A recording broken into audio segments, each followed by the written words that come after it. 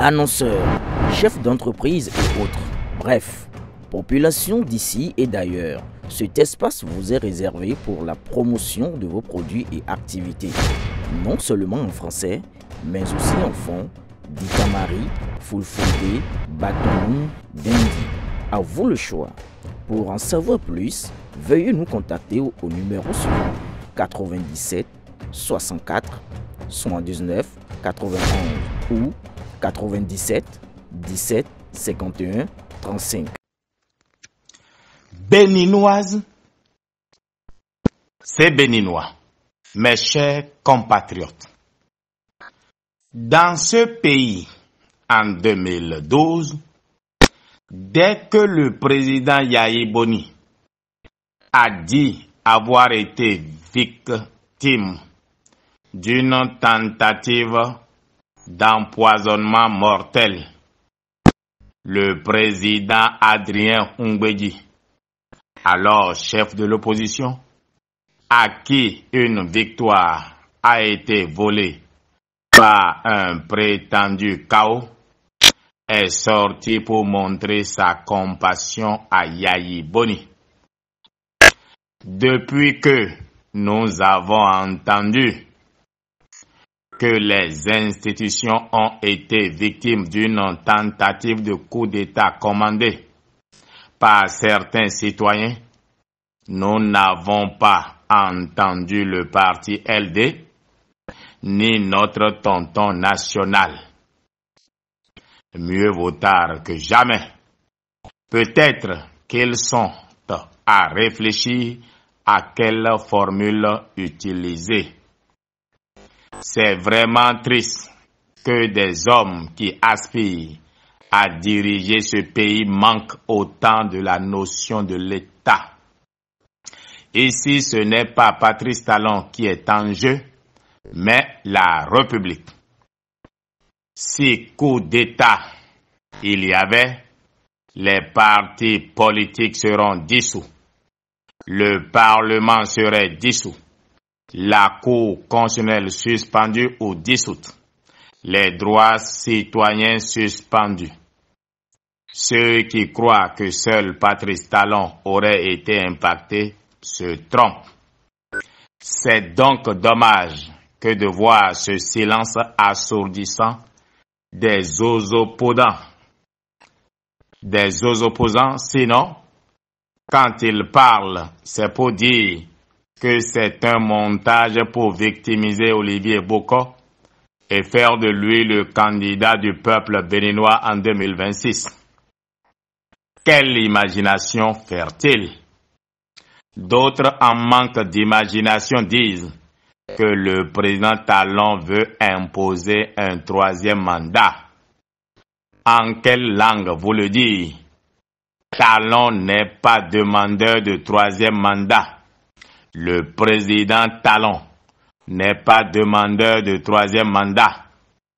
D'autres enfin disent que Talon est contre Boko. Talon qui a laissé à Boko le soin de gérer leur affaire commune. Comment peut-il être contre Olivier Boko? C'est à Boko de nous dire ce qui s'est passé. Lui seul peut expliquer le drame dont nous parlons aujourd'hui. Certains disent qu'ils n'ont pas vu les armes, alors qu'on parle de tentative de corruption du commandant de la garde présidentielle pour faire un coup d'État afin de remettre en question tout le système politique actuel. Ne sommes pas encore à l'opérationnalité du coup d'État. Ce pays a un talent. C'est dommage, celui de se détruire lui-même. J'appelle tous les militants de la mouvance présidentielle à individuellement marquer leur soutien à la République surtout ceux-là qui ont perdu Olivier Bocot avec leur histoire de OB26. Nous ne ferons pas de chasse aux sorcières, mais nous allons quand même demander le renouvellement de l'allégeance de ceux-là à la dynamique unitaire sous le commandement du président Patrice Talon. C'est trop facile d'abandonner Olivier Bocor sans faire son mea culpa. Olivier Bocor a été perdu par sa générosité. C'est l'amour de l'argent qui a amené député, maire, homme d'affaires, homme de médias à faire croire à Olivier Bocor que le président Patrice Talon devait être conjugué au passé à deux ans de la fin de son mandat. Nous allons pardonner, mais nous devons exiger de ceux-là un acte de contrition. Pauvre Olivier Bocco, pauvre de toi mon frère, ils t'ont déjà oublié.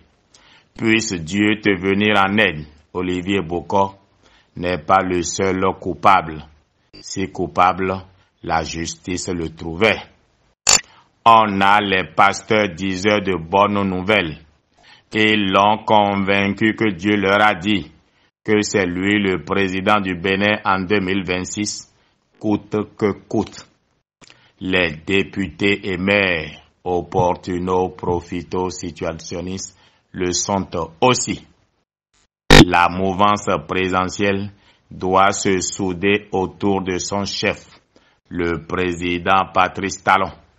La mouvance présidentielle est coupable d'avoir laissé ce qu'a été le mouvement OB26 se produire. C'est là, en réalité, la trahison, la tentative de corruption pour faire renverser les institutions n'est à la fin qu'une conséquence de OB26. C'est ce que je crois. Que notre justice fasse son travail et que Dieu ait miséricorde de nous tous. Notre mouvance présidentielle a de la chance d'avoir un chef qui a un cœur à pardonner. Sinon, tous ceux qui étaient dans la rébellion devraient être sanctionnés politiquement. Mais le président Patrice Talon, que j'ai eu l'insigne honneur de voir ce 28 septembre 2024 n'est pas dans la dynamique de la vengeance contre quiconque. Ce n'est pas une raison pour que ceux qui sont coupables de rébellion politique ne fassent tout pour se racheter auprès de leur parti politique. Mettons-nous au travail pour unifier nos efforts. Unis, nous sommes plus forts. Nous sommes donc le 28 septembre 2024. Bertin Koviche Urebukukpin, Katakata Biojo, président de l'Alliance Iroko, membre du bloc républicain, soutien indéfectible du président Patrice